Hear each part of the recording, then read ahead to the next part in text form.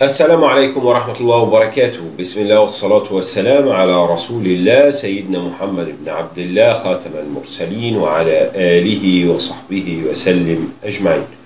بسم الله ما شاء الله لا قوة إلا بالله.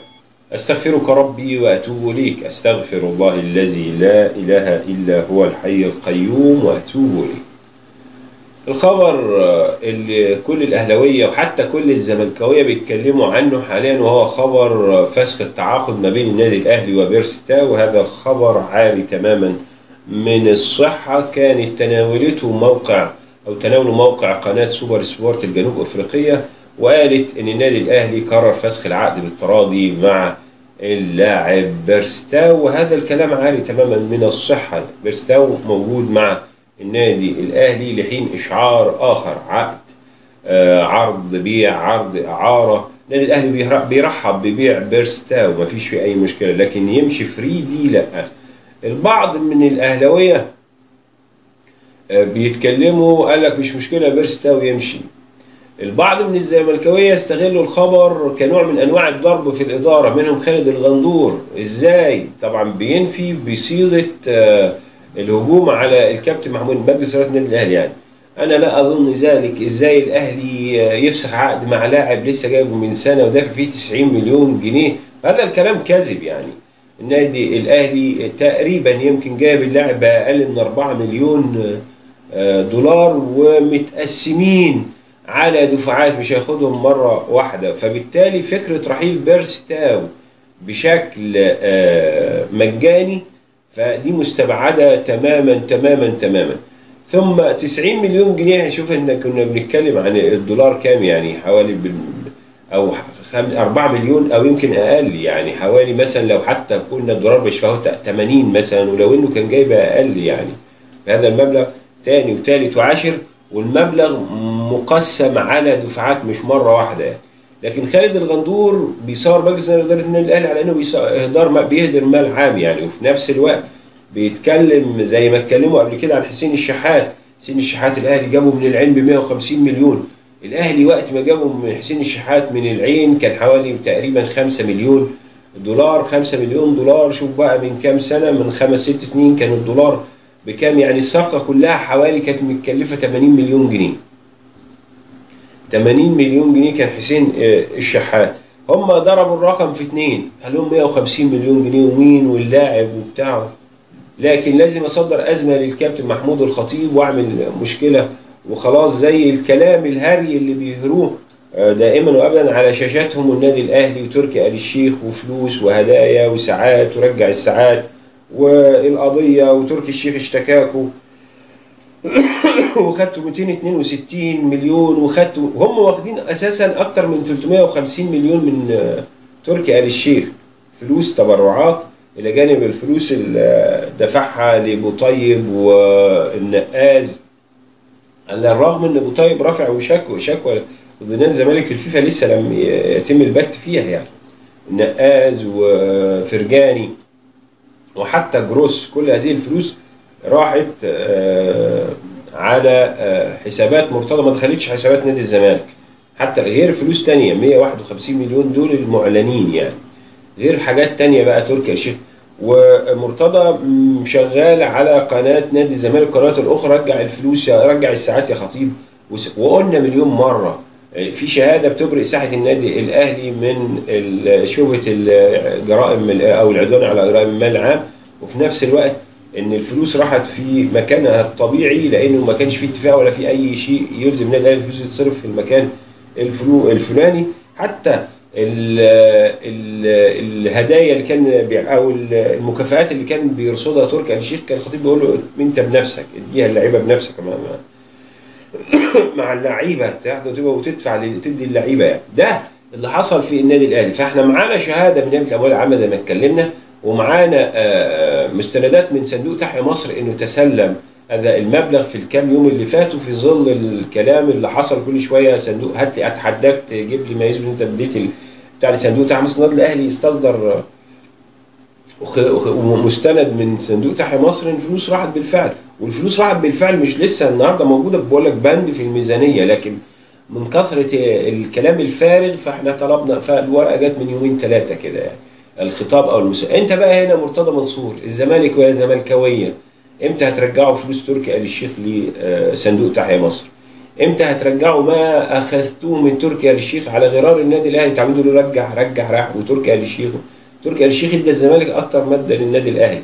ومع ذلك الأهلي طلع الفلوس بتاعت تركي. آل الشيخ لصندوق تحيا مصر بهداياه بكله بكله أنت بقى فين؟ فين فلوس تركي؟ آل الشيخ؟ لا يا عم هو قال معاك في كل هت... هو قال علينا عصابة لا قال مرتضى منصور الشحات. آه مرتضى منصور طلع قال لك تركي آل الشيخ في رسالة راحت له مش عارف ارد عليها قال يا شحات. قال لي الزمالك قال لكم يا شحات؟ ها وقال نمت وصحيت كلت بليلة من عند الشحات. ها وقالها وش لأحمد عفيفي لما سئل أنت دلوقتي خذلت الزمالك ورحت تاني للأهلي بعد الصلح يعني. ولما رحت الزمالك استقبلوك استقبال الفاتحين. قال لك استقبلوني استقبال الفاتحين مش لسواد عيوني يا أحمد يا عفيفي. علشان جروس علشان النقاز علشان بوطيب كل هذه الأمور. وقبل كل عشان أنا أهلاوي مكايده يعني في النادي الأهلي يعني. ها؟ وبعدين رد وشه؟ قال لكم كده أنا مش جمعية خيرية. حصل ولا ما حصلش؟ ففي هاشتاج دلوقتي جماهير النادي الأهلي مطلعاه رجع فلوس تركيا مرتضى ولا مرتضى؟ رجع فلوس تركيا يا مرتضى رجع فلوس تركيا الهاشتاج رجع فلوس تركيا يا مرتضى. هاشتاج ترند رقم واحد موجود على تويتر هل مرتضى منصور هيشوف الترند ولا هيعمل هيودي وشه هيخبي وشه؟ يعني مش هيشوف ال... الكلام ده. لا لا لا. هو رجع هي قصة. حتى بقى له كام بقى له كام فترة يطلع بعد ما عرف وتاكد إن القصة بتاعت صندوق تحيا مصر صحيحة والخطاب متأكد ها والاهلي أهو جابنا ورق عشان ما حد نقفل القصة والشهادة أهي وبتاع بقى له كام يوم لكن مش مستبعد يطلع يتكلم هو كل الكلام اللي بيقوله مرتضى كله غير حقيقي لكن بيلقى أذان صاغية من جماهير نادي الزمالك والبعض بيرد أقسم بالله في الكام يوم اللي فاتوا دول كم سفلات وتعليقات سفلة بدون أي مبرر لمجرد إن أنت بتقول الحقيقة واحد يخش يشتمك. لمجرد إن أنت بتقول أنا عندي شهادة أهو. رجع الساعات يا خطيب. رجع ولا هو ونتكلم هو الخطيب ملاك يا عم يا سيدي ما تقول لي حاجة. قال لا لا أنتوا سمسارة وفلوس وخدتوا فلوس تركي. قال لي لا لا كم من الناس اللي تم تجهيلها والعقول اللي تم تبويرها الفترة اللي فاتت من مرتضى منصور والإعلام الزملكاوي؟ دول أعتقد ربنا سبحانه وتعالى هيحاسبهم على عقول العيال اللي باظت دي بعض العقول بعض عقول العيال اللي باظت دي. نبيل الحلفاوي يبدو إن هجوم مرتضى منصور عليه وقال له هترجع تعيط تشتكي لأشرف زكي وأنا عارف حالتك النفسية وعندك 107 سنة. يبدو بسبب إن قال الأهلي يوافق على إعارة الدوري للزمالك لموسم جديد يعني. فمرتضى اتكلم وهاجم نبيل حلفاوي نبيل حلفاوي يبدو بقى إنه بيقول لك إيه؟ بخسارة بيراميدز يصبح الزمالك هو الفائز بالدوري ال 14 في تاريخه، مبروك لاصدقائنا الزملكاوية والجمهور الزمالك ولاعيبه لعيبة وجهاز الف... وجهازه الفني. تسعدنا فرحتكم. الزمالك وجمهوره عشرة عمر مليئة بذكريات لا تنسى. ربنا يجمعنا في الخير وبالمحبة دائما. ده كلام نبيل الحلفاوي. إبراهيم سعيد قال كلمتين حلوين فيما يخص مرتضى منصور وتهديده طبعا سمعته بالأمس. مرتضى منصور بيهدد إبراهيم سعيد أفتح لك قضية الزنا على شاشات التلفزيون علني كده إبراهيم سعيد لم ينكر. بنفس الوقت أحرج مرتضى منصور وقال لمرتضى منصور أنت غير أمين وطالب كل من لهم قضايا لدى مرتضى منصور إنه يسحبوا القضايا ومحدش يتعامل مع مرتضى منصور لأنه شخص غير أمين على قضاياه وبيستغل هذه القضايا لفضح موكليه قال لو أنت عندك قضية ليا هتطلعها يعني أنت غير أمين. وراجل لا تستحق إن الناس تأتمنك على شغلها. نصيحة لكل الناس محدش لا يأتمن ولا يوكل الراجل الخرفان ده في أي شغل أحسن. فضاح لا يؤتمن. مش كده ولا إيه؟ وكل شاب له أخطاء ولكن رحمة ربنا تسع كل شيء وربنا غفور رحيم. وتعلمت من أخطائي بفضل الله لأن آآ آآ لأن قابل التوبة هداني. وعلى فكرة أنا ممكن برضه أقول لك إن ليك عندي فضايح ومصايب وحكايات ليك ولعيالك ولا نسيت. عموما اللي أنت قلته ده مكانه القنوات الشرعية والنيابة لأنك ارتكبت جريمة وهتتحاسب عليها. ده كلام إبراهيم سعيد في رده على مرتضى منصور. قلت لحضراتكم بالأمس إن الوزير اجتمع بكل من جمال علام رئيس الاتحاد ونائب الرئيس خالد الدرندلي ورئيس الرابطة أحمد دياب سيف الوزيري رئيس شركة استادات لمناقشة بعض الموضوع منها كافة حقوق البث الخاصة بالأندية المصرية. أنتوا عارفين كحكة كبيرة وسبوبة كبيرة وتورتة كبيرة موضوع البث ده الرعاية والبث النادي الأهلي المفروض عقد الرعاية بينتهي بنهاية هذا الموسم وفي عروض رعاية بمبالغ طائلة من خارج مصر قطرية وغير وغير إماراتية. فلوس كبير كتير. وعقد رعاية يتخطى المليار. كلمنا عن رعاية النادي الأهلي وأي شركة أو أي حد بيرعى النادي الأهلي فبيستفيد من اسم النادي الأهلي وده اللي قاله محمد شبانه الزملكاوي اللي كان موجود وقت في الأهرام عند مجلس اداره الأهرام وقت وجود الكابتن حسن حمدي ورعاية الأهرام للنادي الأهلي وقال إن الأهرام استفاد من النادي الأهلي 300 المية لو الأهلي كان بياخد 100 مليون كان الأهرام بيستفيد 300 مليون بيدفع ال 400 بياخد 400 مليون ويدي الأهلي 100 مليون ويبقى استفاد ب 300 مليون لدرجة إن قال الأهرام مش قادر يعوض حتى الآن رجل إعلانات زي الكابتن حسن حمدي يعني. فالوزير بدل ما يتكلم عن منشآت عن توفير كل شيء للأندية ودعم الأندية ومتطلبات الأندية بيتكلم عن البث. علشان كده النادي الأهلي الحرب عليه شرسة وهتكون الفترة المقبلة شرسة. طبعا اللي بيرعى النادي الأهلي هي شركة تتبع الدولة. شركة تتبع الدولة اللي بتدفعين 510 هي برزنتيشن 510 فالنادي الأهلي خلال الفترة عم بقول لك عنده عروض. فالشركة مش فالنادي الأهلي الفترة اللي جاية بقى لازم جمهوره يكون في ظهر الكابتن أيضا بالنسبة للبث التلفزيوني. النادي الأهلي من حقه إنه يسوق ويبيع مبارياته منفردا. حتى لو مش هيبيع من حقه إنه يذيع على قناته يبيعها يعني شركة النادي الأهلي كرة القدم تبيع لشركة النادي الأهلي الخدمات الإعلامية أو للإنتاج الإعلامي المباريات. ده لو هذيع. ممكن أبيع لأي قناة أخرى مباريات أنا بس. أنا عندي 17 مباراة.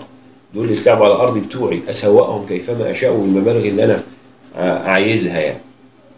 لكن ما حدش هيسيب النادي الأهلي عشان النادي الأهلي هيحاول. هو الأهلي الخطيب ياسين منصور شغل هيحاولوا. آه وما حدش يقول بقى النادي الأهلي فرط وبتاع. آه في حاجات بيبقى الواحد غصب عايش بإيده يعني. لكن إن شاء الله آه الأهلي هيحاول إنه يستفيد أكبر استفادة من عوائد البث ومن الرعاية. بالنسبة لأحمد مجاهد أحمد مجاهد رئيس اللجنة السابق اللي خربها أحمد مجاهد اللي ضغط النادي الأهلي الموسم الماضي أحمد مجاهد اللي خبى خطاب إيقاف نادي أحمد مجاهد اللي أيد سيف الجزيري. كل هؤلاء مجاهد أيد الجزيري. مجاهد خبى خطاب وقف القيد. مجاهد خربها ومشي. بيقول لك إيه؟ بينصح النادي الأهلي مجاهد اللي بيقول لك أنا راعي الفساد اللي طلع قال لك المرتضى بيقول له جمال مجدي عبد الله قلع لك البنطلون قال لا أنا أكتر واحد خدمت نادي الزمالك يا معلم مصطفى فتحت الساعة 12 القيد لأحمد علي في نادي الزمالك. قال لك مبروك أحمد مجاهد مبروك لنادي الزمالك إدارة وجهاز فني واداري ولاعبين وجماهير بطولة مستحقة. حظ أفضل لنادي بيراميدز فريق تقيل لا ينقصه إلا تحقيق البطولات. نصيحة للنادي الأهلي المصارحة مع النفس ومواجهة الواقع. أول طريق للإصلاح. ما إحنا قلنا مواجهة الواقع هو واحد زي حالتك ها؟ غير مسؤول. لما حتى كمان في الاتحاد الأفريقي عاوز يخرج النادي الأهلي من بطولة أفريقيا فحرض بيراميدز وحرك القصة في اتحاد. أنت أحمد مجاهد زيك لازم يستخبى أقسم بالله. زيك لازم أنا مش عارف يا أخي أنتوا إيه؟ أنتوا إيه يا أخي؟ أنتوا إزاي كده؟ واحدة مذيعة ما أعرفش ملهاش علاقة بكرة القدم اسمها مفيدة شيحة. طالعه تقول لك شيكابالا نتمنى ان إحنا نكون السنة الجاية في النادي الأهلي يا شيكابالا فالأهلي فريق بطولات. شيكابالا مين يا مفيدة؟ ما تخليكي في الطبخ وخليكي الستات ما بيعرفوش يكذبوا ولا ما بيعرفوش يعملوا محشي يا مفيدة.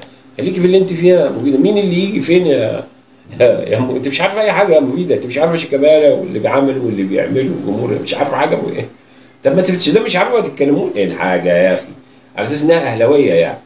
الأهلي آه بعض المواقع. قلت لحضراتكم من البداية الأهلي مفيش نية إن إنه يفرط في قفشة. لكن في عروض لقفشة آه من نادي تركي آه وكيله اتكلم. آه العرض المالي قليل. آه لكن الأهلي ما درسش الموقف نهائيا. مجرد ما مش هفرط.